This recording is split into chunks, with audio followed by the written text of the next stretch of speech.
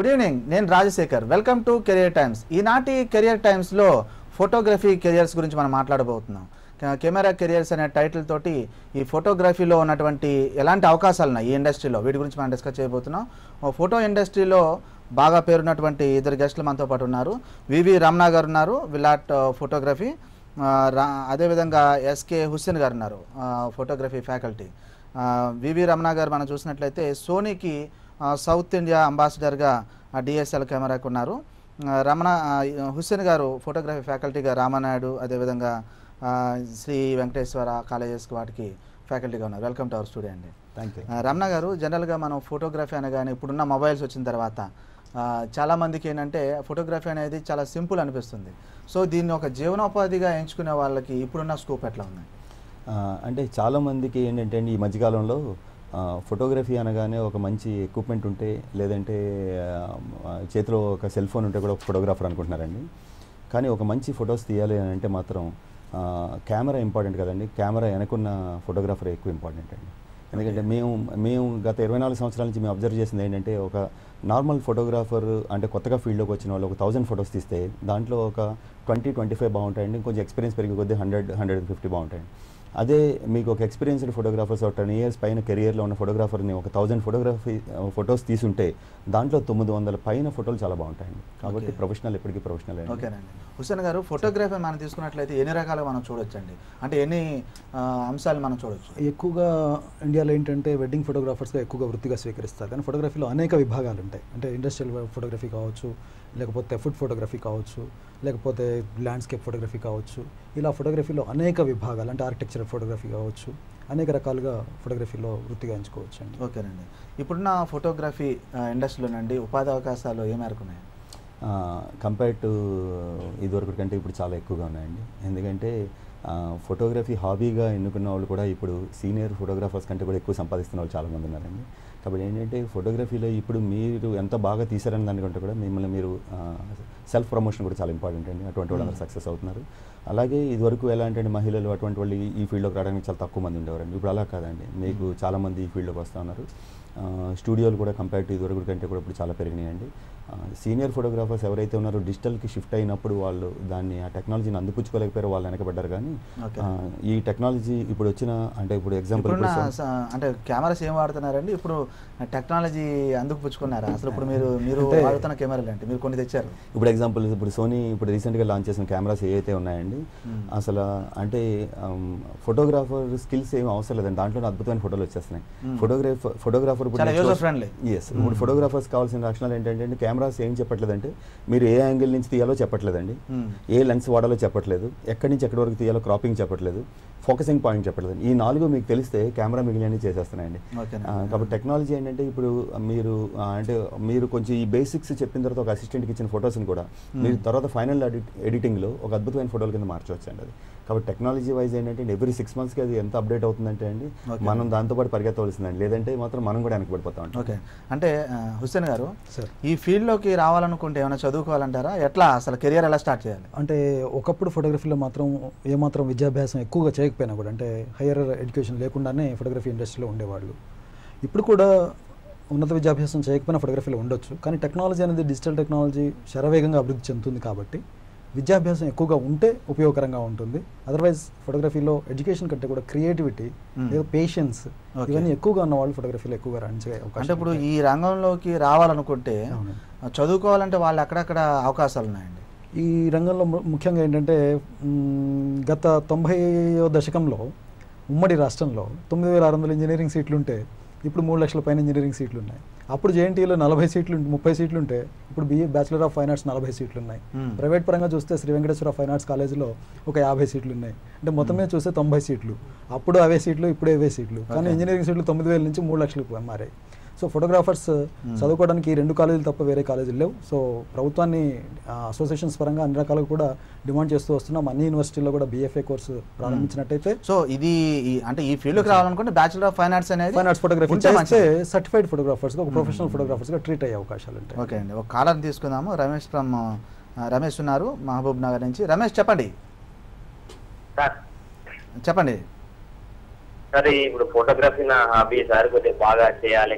కెమెరాలు మంచిగా నేను చాలా బాగా ఫోటోలు తీయాలని నా ఆశ సార్ ఏం చదువుకున్నారు రమేష్?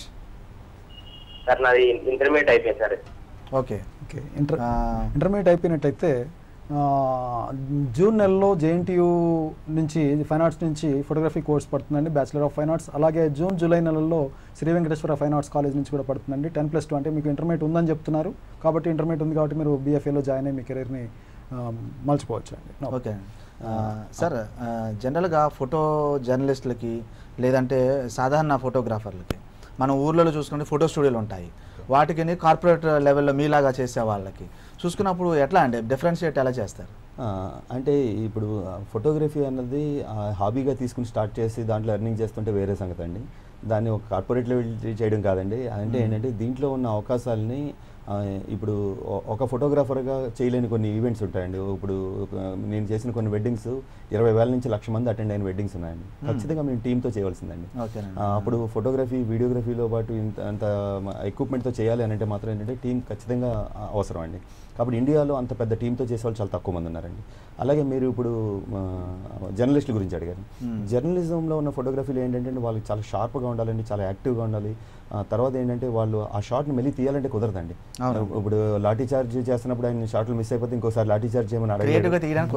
అడగలేదు అడగలేదు కదా ఉండాలి. ఉండాలండి. కాబట్టి ఏంటంటే వాళ్ళకి ఎక్విప్మెంట్ కూడా వాళ్ళకి చాలా ఫాస్ట్ షటర్ స్పీడ్ ఉన్న కెమెరాస్ అవి అవసరం అండి. చాలా ఫాస్ట్ ఫోకసింగ్ ఉన్న కెమెరాస్ అవసరం.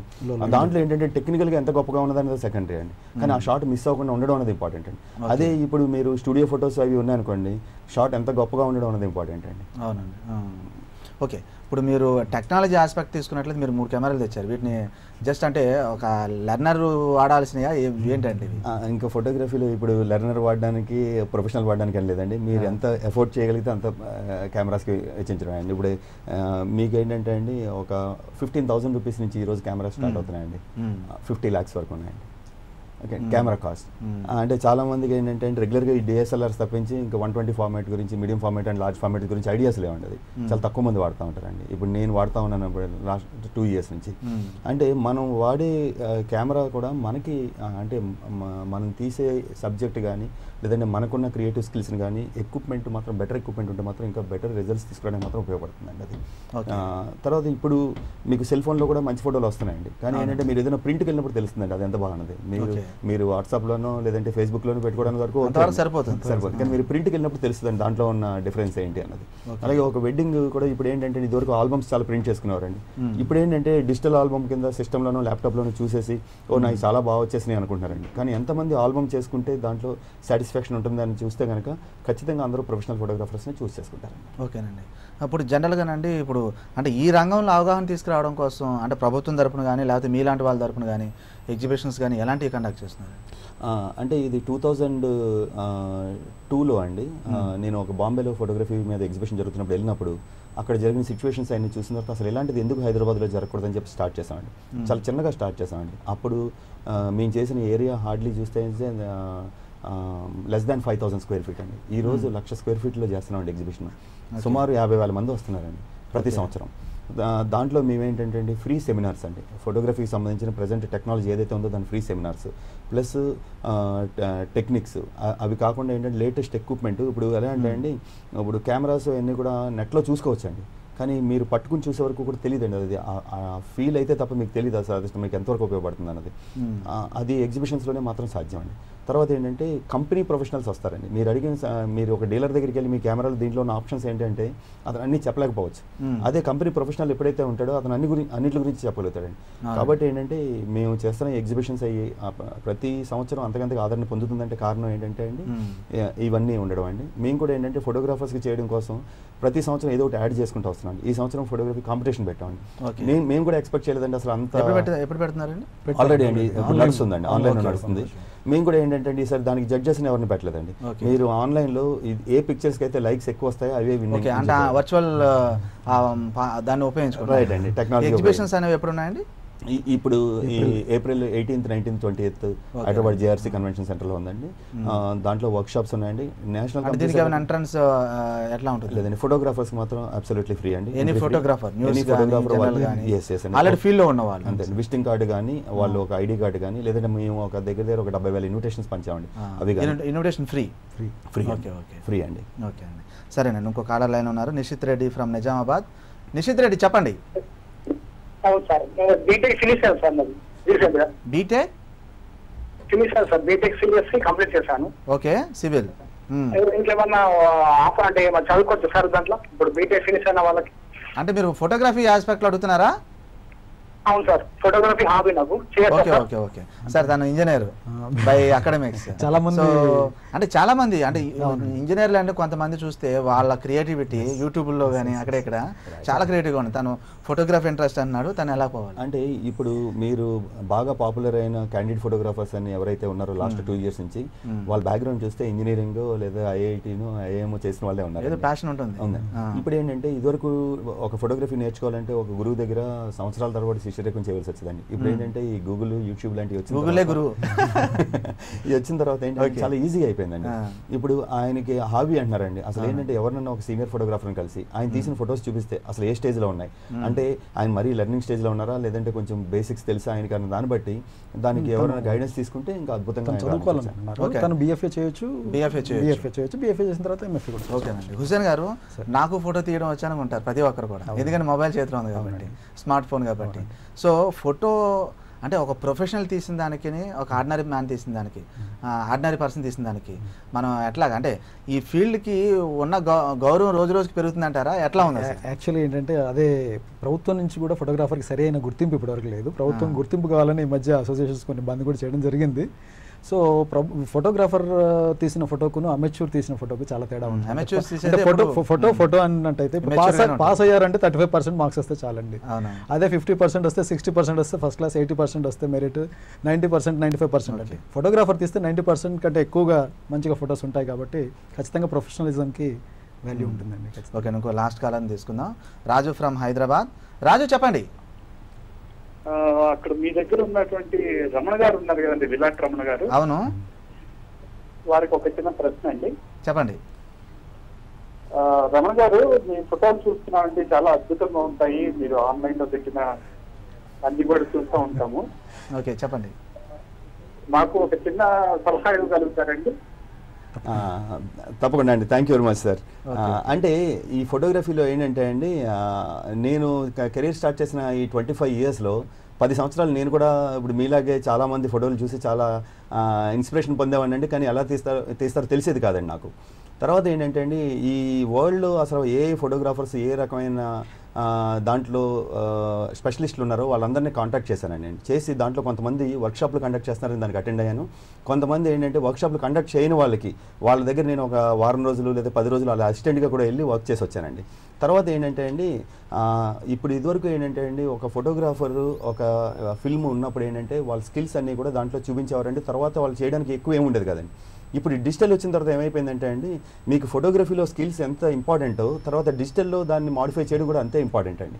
కాబట్టి ఏంటంటే మీరు కెమెరాతో ఉన్న స్కిల్స్తో పాటు మీరు ఏంటంటే సిస్టమ్ మీద ప్రజెంట్ వస్తున్న సాఫ్ట్వేర్స్ మీద అవగాహన ఉంటే మీరు అద్భుతమైన అవుట్పుట్స్ ఇవ్వగలుగుతారండి. ఓకే సార్ ఫైనల్గా ఒక త్రీ పాయింట్స్లో చెప్పాలంటే త్రీ వర్డ్స్లో ఫోటోగ్రఫీ ఇండస్ట్రీలో సక్సెస్ కావాలనుకుంటే ఆ ప్యాషన్ ఎలాగా వాళ్ళు సస్టైన్ చేయాలి? అంటే మీరు అది రైట్ పర్సన్ అడిగారో లేదో తెలియదండి ఎందుకంటే సక్సెస్ అన్న దాని గురించి అయితే ఒకటే నేను చెప్పగలుగుతానండి. నాకు ఏది చూస్తున్నా కానీ నేను నా యాంగిల్లో నేను చూస్తూ ఉంటానండి. తర్వాత ఎక్విప్మెంట్ ఏదైనా వచ్చింది అనుకోండి అది కొత్తది తీసుకున్న తర్వాత దాన్ని దాంట్లో ఉన్న ఆప్షన్స్ అన్ని వాడితేనే కానీ నాకు నిద్ర పట్టదండి. తర్వాత ఏంటంటే ఎవరన్నా ఎంత బాగా ఫోటో తీశారనుకోండి వాళ్ళు నిజంగా ఫోటోగ్రాఫర్ కాకుండా తీసినా సరే అసలు దాన్ని ఎందుకు అలా తీసాడు అసలు? అంటే అది యాక్సిడెంటల్గా జరిగిందా? నిజంగా తను ఏమైనా టెక్నిక్ యూస్ చేస్తాడు అని తెలుసుకునే వరకు ఉండదండి. మీలో కూడా ఆ డిజైర్ ఉంటే మాత్రం ఖచ్చితంగా ఎవరైనా సాధించగలుగుతారు మీరు మూడు పాయింట్లు చెప్పండి సార్ ఫైనల్గా. అంటే ఫోటోగ్రఫీ ఇండస్ట్రీలో ఇంత ఇంతకుముందు మనం మాట్లాడుకున్నాం టెక్నాలజీ బాగా సర్వేగా అభివృద్ధి చెందుతుందని చెప్పేసి టెక్నాలజీని అప్డేట్ కావడం కోసం ఉన్న మార్గాలు ఏంటంటే మీరు అన్నట్టుగా ఇంతకుముందు గూగుల్ ఇంటర్నెట్. కానీ లేకపోతే మ్యాగజైన్స్ కానీ ఇవన్నీ కానీ కానీ ఈ రెండు రాష్ట్రాల్లో కూడా ట్రెడిషనల్ ఫోటోగ్రాఫర్స్ పాపం అప్గ్రేడ్ కావడానికి సరైన అవకాశాలు లేవు ప్రభుత్వ పరంగా అలాంటి అవకాశాలు ఇస్తే ఖచ్చితంగా వాళ్ళు అప్గ్రేడ్. అవుతారు ట్రైనింగ్ క్యాంప్స్ అంటే ప్రభుత్వమే బాధ్యతగా తీసుకుని వాళ్ళకి ట్రైనింగ్ ఇచ్చి అప్డేట్ చేసినట్టయితే బాగుంటుంది. Thank thank you very much Ramana గారు హుస్సేన్ గారు. Much అండి. ఆ, మీరు చాలా మీ విజయ. షెడ్యూల్లో మాకు. మా వ్యూవర్స్కి ఎడ్యుకేట్ చేయడానికి ఇచ్చిన టైం బట్టి ఫ్రెండ్స్ ఫోటోగ్రఫీకి సంబంధించి మీరు ఈ ఫీల్డ్లో ఎక్సెల్ కావాలనుకుంటే ఖచ్చితంగా ఎక్స్పీరియన్స్ ఉన్నటువంటి ఫోటోగ్రాఫర్స్ రమణ గారు హుస్సేన్ గారు లాంటి వాళ్ళని కలిసి మీరు గైడెన్స్ తీసుకొని కొంత ఎడ్యుకేషన్ కూడా తీసుకోగలిగితే మంచిది. రేపటి కెరియర్ టైమ్స్లో విజయానికి ఆ మూడు గంటలు అని ఎగ్జామ్ మేనేజ్మెంట్ మీద మనం మాట్లాడబోతున్నాం. సీటు మారు